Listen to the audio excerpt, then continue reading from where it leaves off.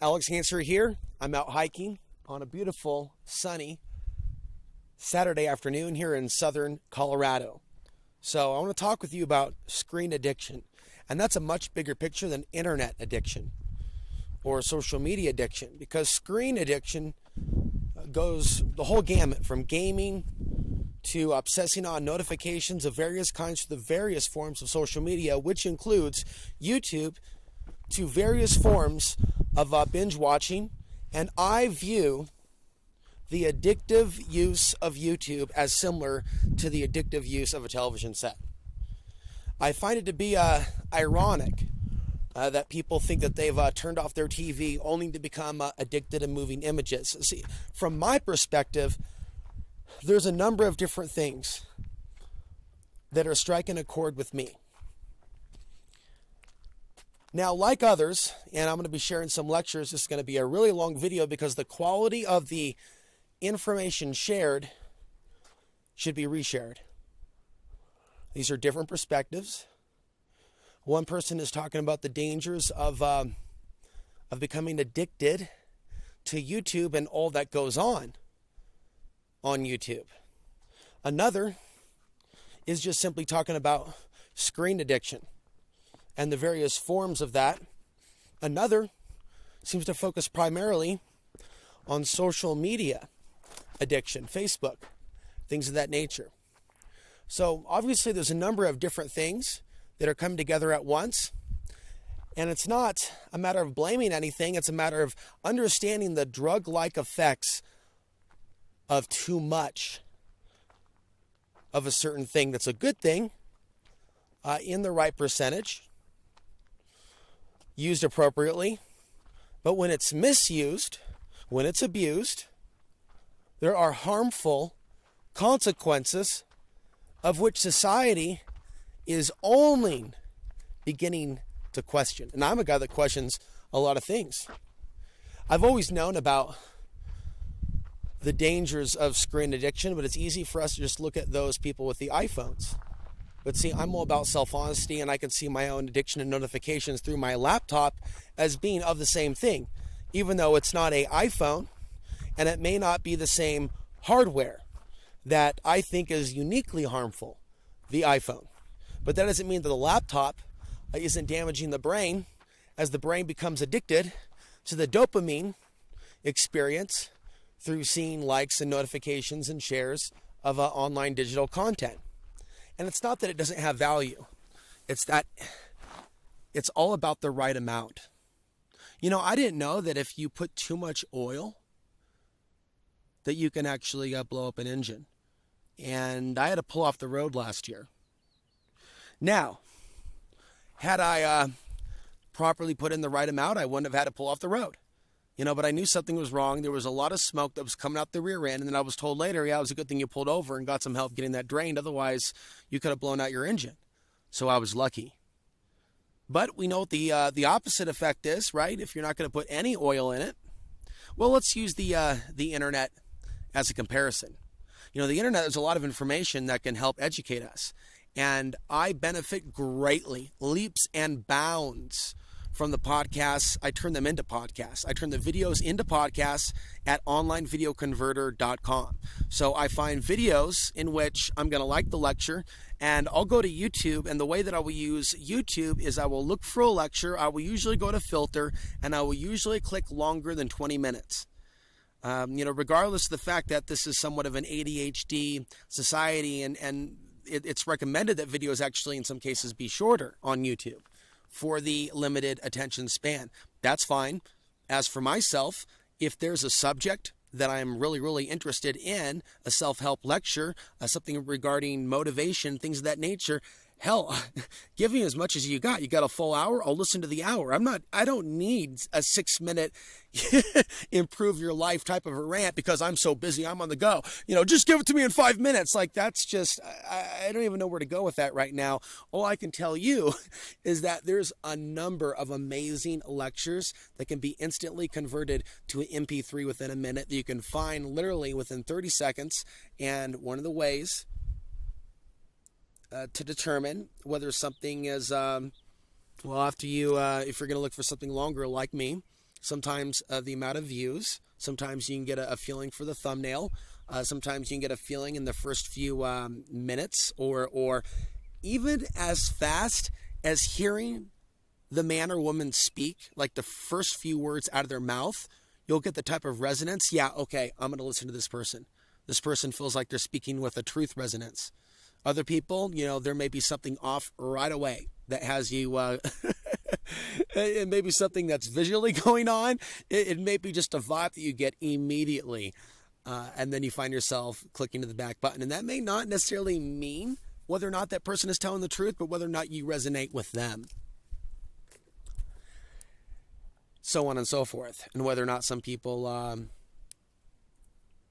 resonate, resonate with me. And a lot of people don't. Uh, the thing is, it's one thing to output information onto the internet, writing, podcasts, videos, artwork, other things not expressed, and uh, that's a healthy contribution uh, to that to the collective hive mind consciousness because it is what it is, and the internet is expressing that. It's the sharing of ideas. It's not all bad. It's just understanding in the right amount. You know, we can we can get into a we can get into comparisons here with cooking. You know, but I don't have any real specifics to get into off the top of my head. You know, today I uh, went hiking. I've hiked up uh, probably a mile or two uphill, and so I'm looking down at where I parked, and I'm a few miles uh, downhill. To talk about my own addiction to the screen reality is kind of to, to shift gears here. I can kind of give you a little bit. I think this is going to take me some time to process.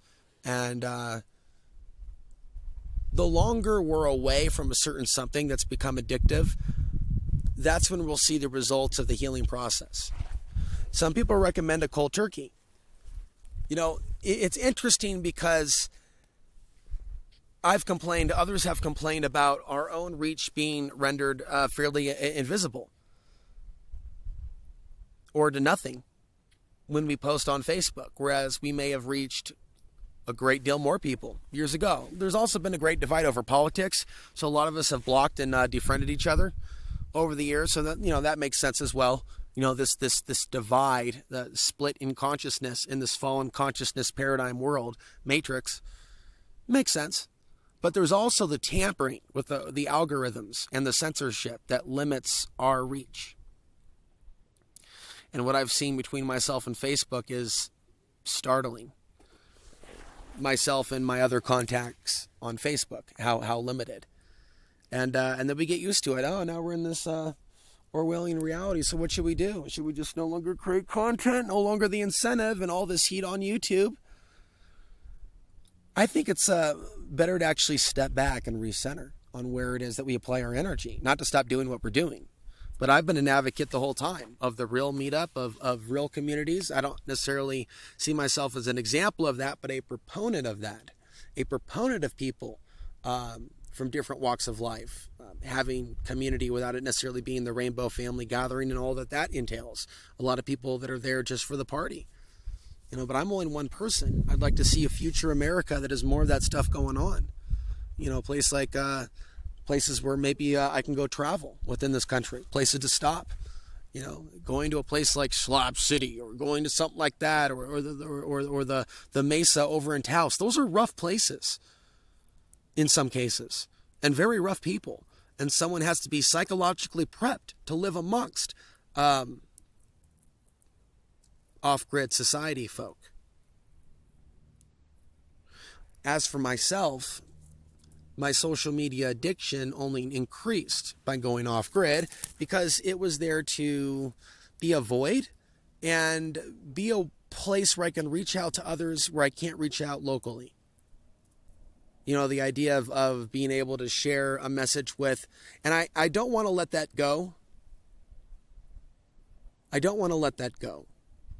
I plan to keep uploading videos. I'm talking about the addictive overconsumption, the binge watching of, of YouTube entertainment videos, not so much cat videos, but just the overall internet experience of being at the edge of our chair.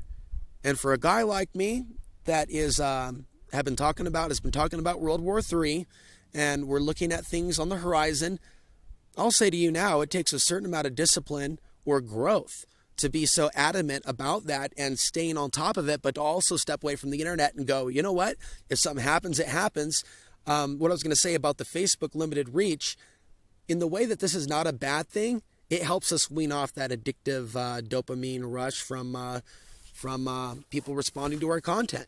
You can even say that people like myself and others have been in a state of withdrawal from having a limited reach either on YouTube or Twitter or Facebook. It, it, it's screwed up. I don't want to curse here, but I, I really would like to curse right now.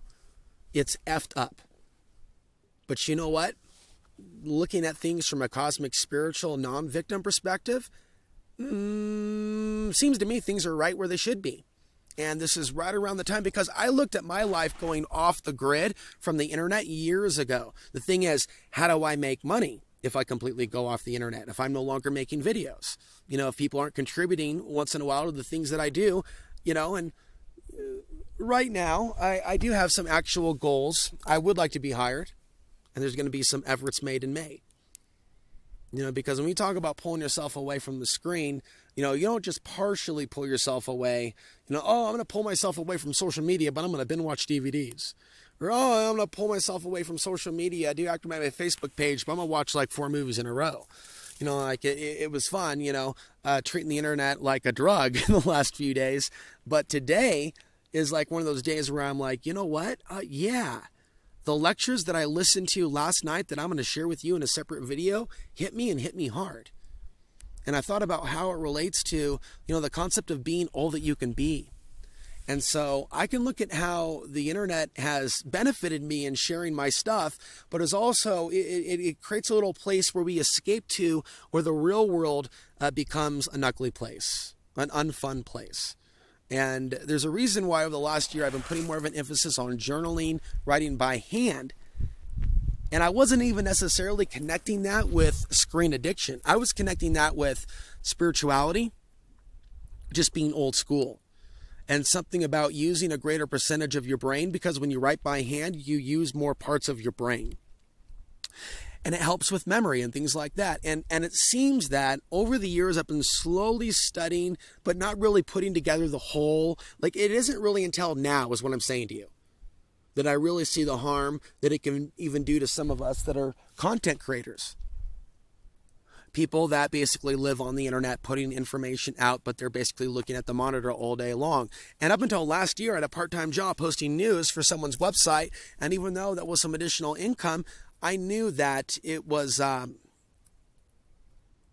it was my destiny to move on from that, from from from being so responsive, even and aware of all of the current news and developments. And again, for someone that is seeing something on the horizon, it takes another part of myself, a stronger spiritual part of myself, to step away from having daily access to the news and living somewhere to where, you know, unless it's something really, really big, I don't expect to get any visitors because I never have any visitors. You know, like, hey, and I, I can imagine somebody coming over I haven't seen in a year. Alex, have you heard they just hit New York or, or something to that effect? We're at war with Russia or something to that effect. Or, you know, did you hear what China just declared and or, or something to that effect? And there's other things that maybe I can worry about, like, well, then how would I be able to uh, talk with certain people on the internet about maybe rallying uh, uh, some folks together and maybe a little, you know, de facto survival camp thing, you know, like something out of Red Dawn? No. And I think there's a part of me that's letting go. It's like, yes, I can prepare and and and and let a part of my mind, I guess, for a number of years. Um, allow a little space to be rented out that's focused on this potential event. But there can also be a part of me that's more spiritual than that, or than someone that's afraid, or than someone that's going to be addicted to the newswire, or constantly looking for signs of things going to the next level. As far as I'm concerned, at some point we're going to be at that level, but it to be really ultimately prepared for that, we have to be of sound mind. How are we going to be of sound mind if we're addicted to social media? How are we going to be of sound mind if we're addicted to video games? And, you know, there's not a lot of things that I agree with my mom about or ways that she. Um,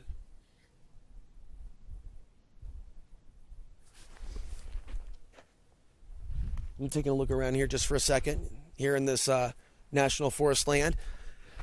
Uh, her style of parenting. I didn't agree with a lot of things, but you know what? Some things do happen for a reason, and she did not support the idea of me having a gaming system and becoming a gaming zombie. And this was like the 1980s, and we don't even ha- share a lot of the same views on a lot of things. I wonder if that was a reason. We're done for a reason. There may be things that I didn't agree with or things that I didn't like, but maybe something's happened for a reason. That I wasn't around certain things, that I wasn't around certain people, that I was sheltered to a certain degree, that there was such a thing as limits on how much TV I actually watched. There was actually a limit to how much BS I actually took in in the 1980s. Is that a bad thing? Is that a bad thing? That my mother prevented me from becoming a video game junkie in the 1980s? No, it wasn't a bad thing. And I had those periods in which I binge watched television over at my uh, dad's house. And there were times where I saw stuff that I would consider to be a little bit traumatic of, of a various number of, uh, of, of things. With the video game culture, you know, what it would be like to uh, visit the arcades when I had the ability to, either the nickel ones or the ones where you had to put a quarter in. But because those deep, early life um, brain development uh, stages uh, were not matched with video game addiction, somehow uh, I made it through the PlayStation, uh, Xbox phase. And I guess we're still in that, or maybe new systems. But it's like, um, I think about that. You know, there was an emphasis early on in my life, as early as six years old, on reading. I remember I was in the first grade and there was like some letter from the governor and they were just mass producing these like, thank you for being enrolled in the first grade summer reading program. I'm the governor. Here's my signature. And I had like one of those little gold stars. And that's, that's uh, something that stands out in my lifetime as an early life accomplishment. I've also talked to you about uh, some ridiculous thing that got me sent to detention. This is back in Aurora, North Marion uh, Elementary School and I'm sitting there in detention, and I open up the book, and I'm looking for the name of a superhero, you know, and, TV's banned at home, and you know, I'm, I'm looking for other creative outlets, and I'm looking for the name of a superhero, and I find the name Insusceptible. And I wrote a few, uh, drew a few comic panels, never got deep into drawing or being really all that good at it. But uh, there was something about the early 90s and uh, the comic book uh, archetype of the hero symbolism that struck a chord with me growing up, going from uh, little boy to young adult type of a thing, reality and purpose in living. And what would a superpower have? The insusceptible. And so we're talking about someone that can't be hypnotized, can't be put under the spell. Just like I was writing that journal multiple times in 2014, many people are under the spell. and here is a young Alex Ansary, probably 11 years old. I can't guess the exact age, maybe maybe 12 but out of a, dictionary, basically like uh, nine inches thick. Think about that. Nine inches thick. That's that's insane. Okay, maybe six, six or seven. That's a big dictionary. And so out of that whole book, my finger finds the insusceptible, not able to be easily influenced.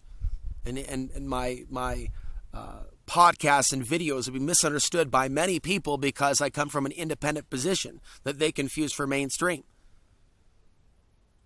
Or vice versa, that someone might confuse for extreme radical or extremism or something to that effect, and they're still not recognizing it for my own information that I'm uh, sharing freely. But there, there's periods in which multiple people might be tapping into the same truth at the same time. It's like the hundredth monkey.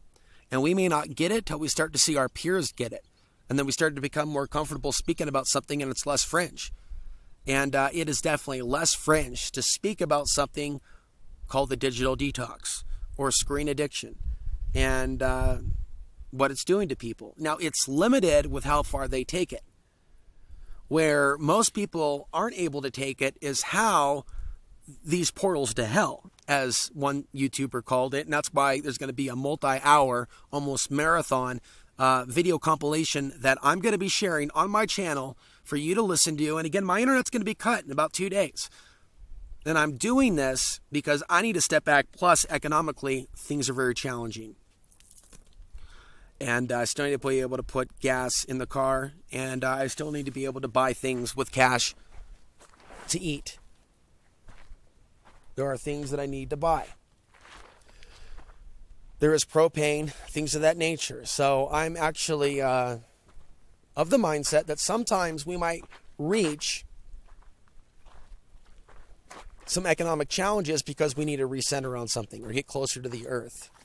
You know, every time that I've had some issues technically with uh, my car, I've seen it as for a reason. And there's been like, you know, some sincere effort put into the, the prayers for my car to not have the issues that I had before, to be frank with you. Because I'm going to need that car to go to the library to upload videos for you. And the idea in stepping back from the digital addiction is to be able to, from a personal goal perspective, create more content. But what would your goal be? If you're not a content creator, what is it that's missing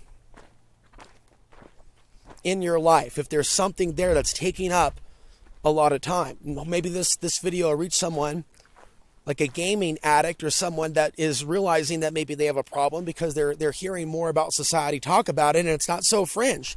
It's not so cool anymore for people to be tuned in, contacted, wherever they are on the planet, to not have that type of natural boundary and barrier. And you know, it is magical, right? That I have the ability to come to you from where I am in Colorado. This is fairly new technology and things like YouTube, but a little goes a long way. So, yes, we have technology that our ancestors did not have, like satellites, although the the flat earthers say there are no satellites, so I'm sure they have another theory for where I'm getting my internet from. But we don't need to change topics. but see, that's amazing. But I need to become more disciplined with such a powerful, powerful thing.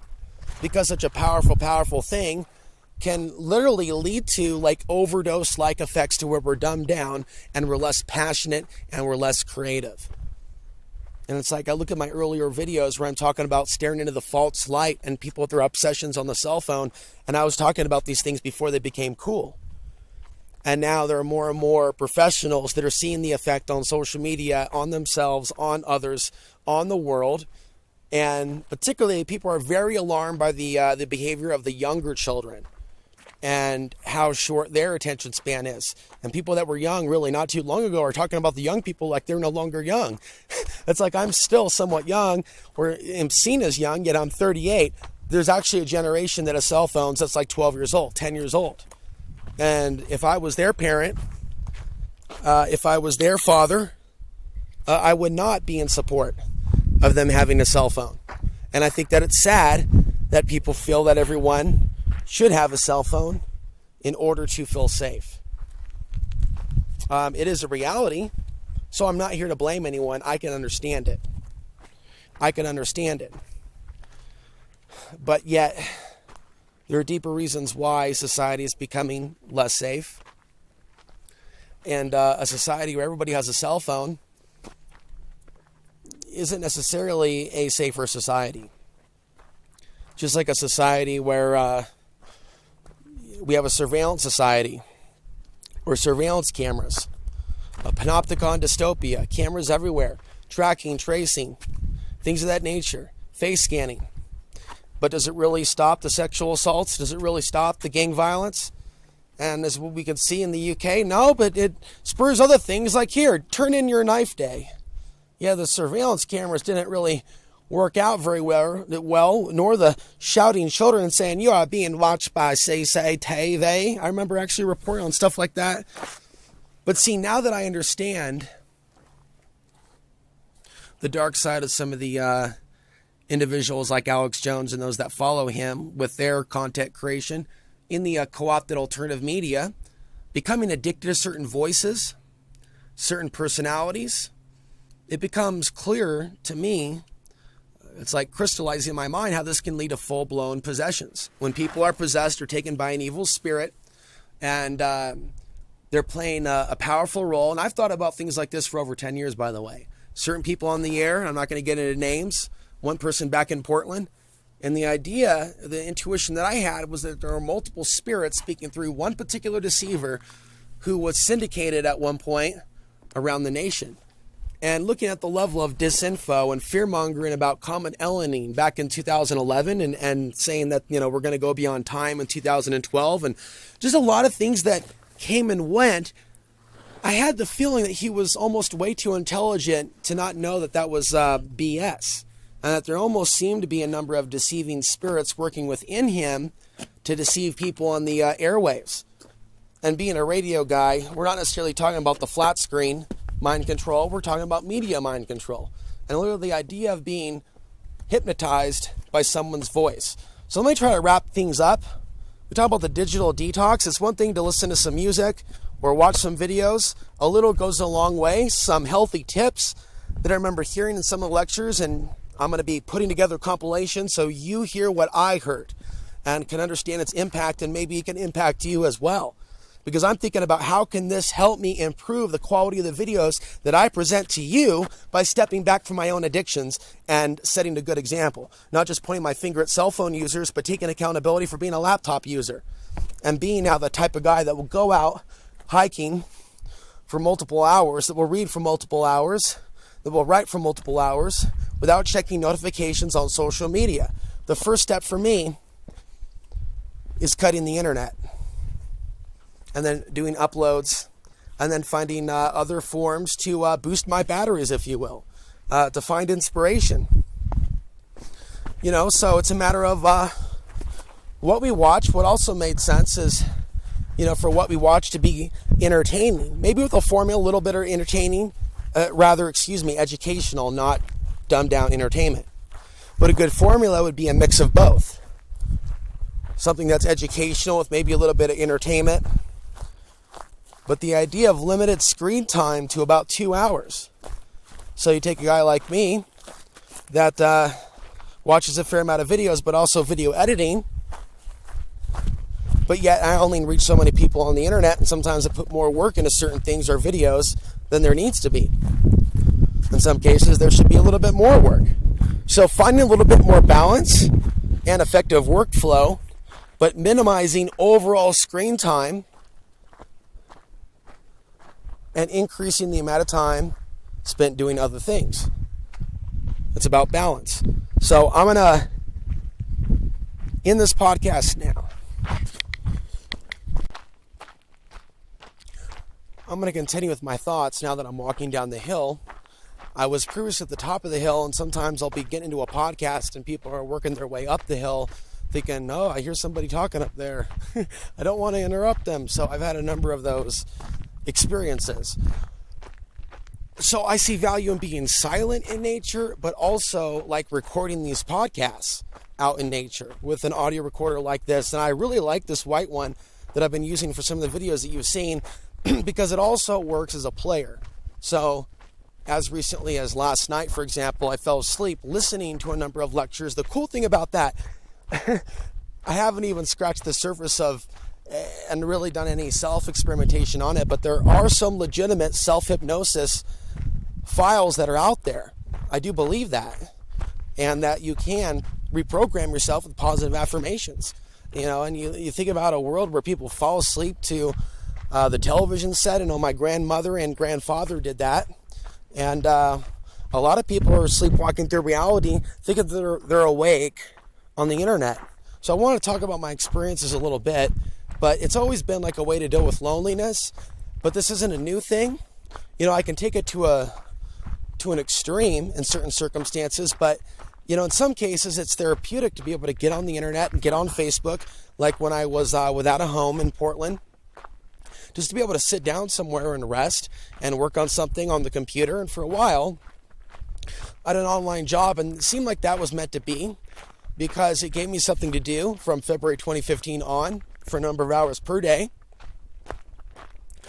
And it was uh, just picking things on my own, uh, you know, whatever I wanted to pick, basically, uh, that just dealt with independent news and just posting to the site instead of having someone breathe down my neck and say what to post. And it was short lived, but uh, that was a positive experience. But now it's several years later, and the world's become a lot more intense. And I'm a little less interested in seeing what's on the news wire. I'm a little less interested uh, with a news job or a job that revolves around being in front of the screen. In fact, the media that I produce, I don't want to spend a lot of time in front of the screen producing it, but I want things to improve. I want there to be a sense of efficiency when I'm editing. So, thinking about things like that. But as long as I'm only going to have so many viewers, really, I'm not going to break my back. Uh, you know, I, I'm not going to break my back. No way. No way. As far as I'm concerned, at any moment, anything can happen. So we should be just living as if we've already arrived. You know, I, I, I, placed a lot of expectations that I've never been able to fulfill, and I haven't necessarily lived up to other people's expectations, whether it be what I cover or, you know, whether or not I'm doing enough videos with myself on the video. And what's this image? What's this? It's just not enough. And the fact of the matter is, with people in a internet consumption mindset, it's never good enough. It's never enough. And people that we connect with on the internet they either are our real friends or they're people on the internet. And at some point, we have to be able to be accountable enough for those of us that are on Facebook, Twitter, and YouTube. Because, yes, it's easy for us to look down at the gamers, at the people in the sim cities, right? But are our own conflicts and conversations also a part of a simulation where it's all taking place in cyberspace? And I've been giving this a lot more time. So I see value in the internet, but only in certain doses. Nature is what's been missing. And um, I'm the kind of person that I'll volunteer. Maybe I'll, I'll look at what WWOOFing organizations are in Colorado to get out and about and maybe uh, work on some of my own social skills to where politics and, and philosophies about archons are, are just not shared with others and they're just more of an effort on my part for us to come to a common ground on something. But if that's going to be the case, then I shouldn't be discussing my YouTube channel at all. you know, and, and, and practicing, I guess, being a traveling man. There's a part of me that wants to do that, that doesn't want to be on the internet at all, that just wants to be a traveling guy and have certain experiences, but I do want to share about my experiences.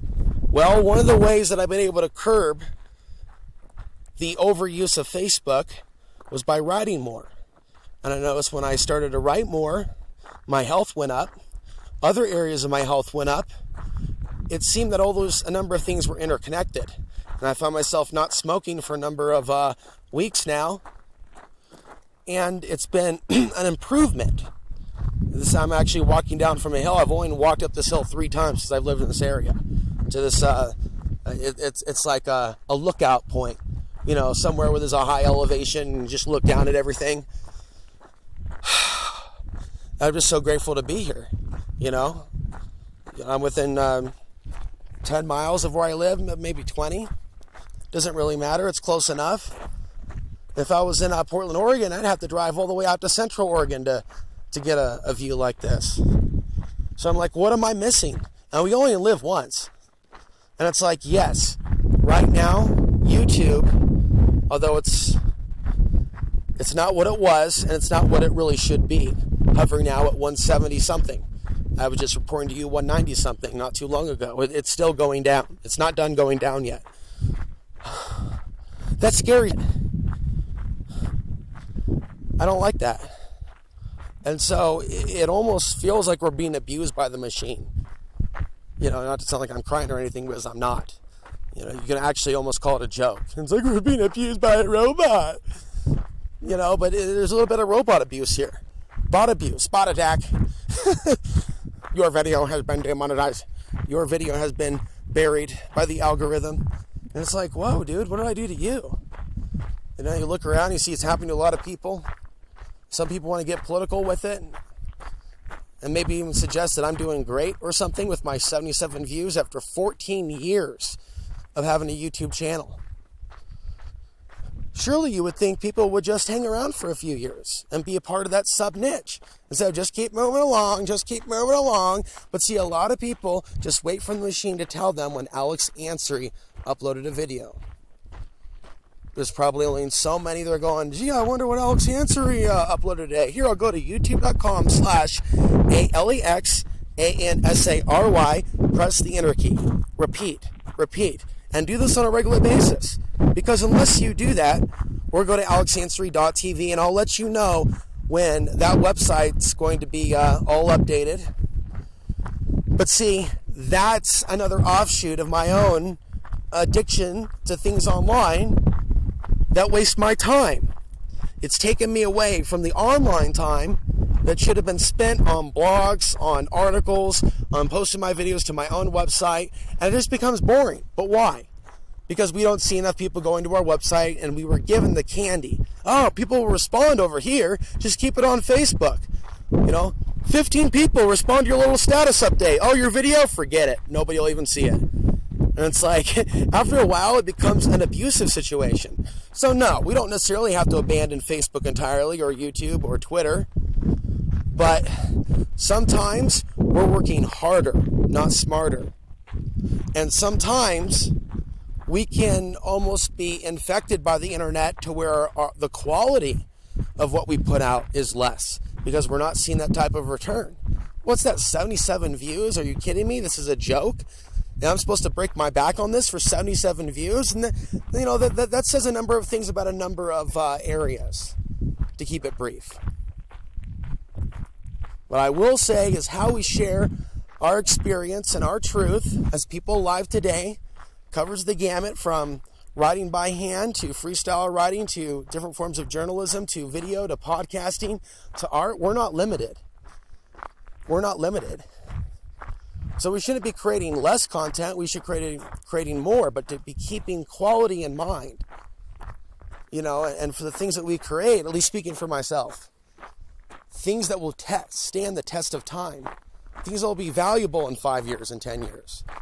You know, I, I look at like news shows where I'd be covering a bunch of stuff, you know, uh, back in Portland, I'd be covering a bunch of stuff that I'm reading off of Infowars.com or reading off of blacklistednews.com or pulling from rense.com. Just, you know, the, the you know, not necessarily the most extreme stories, but everything that fit into the narrative that everything was about the pop. You know, and we're going all the way back to my shows in 2008. What, what, where does that take somebody? Where does that take somebody in life?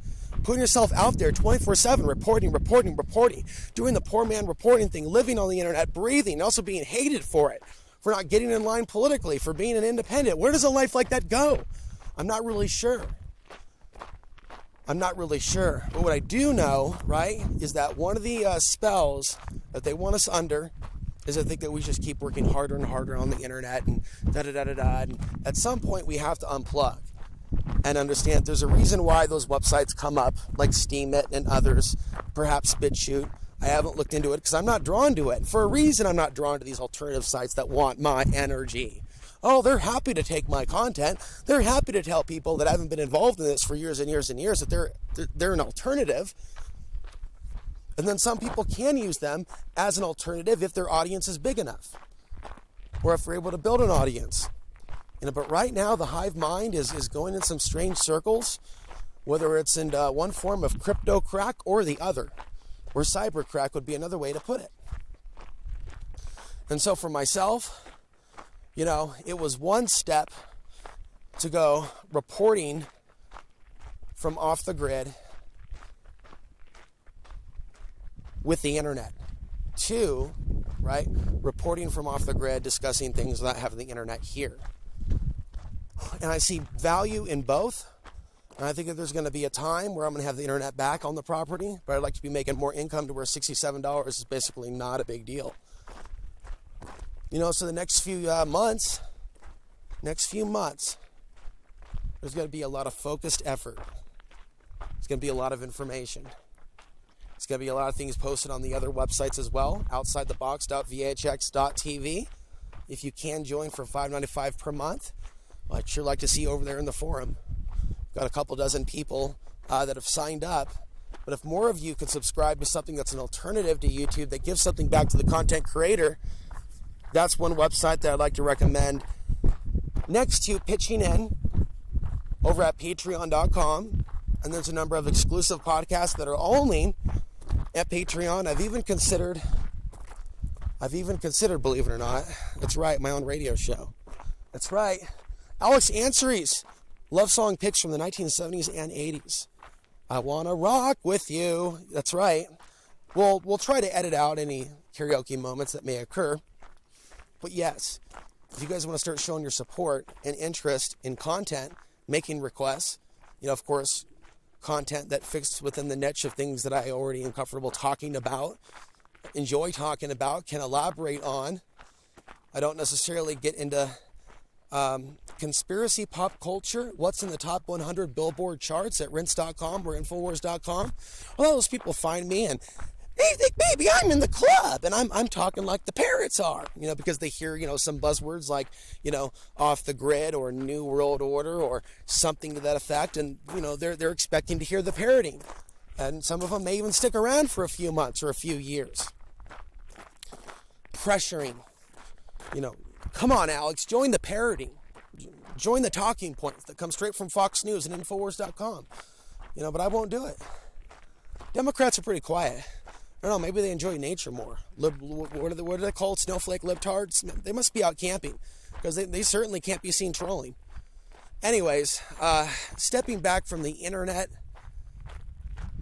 addiction and getting closer to nature to be continued.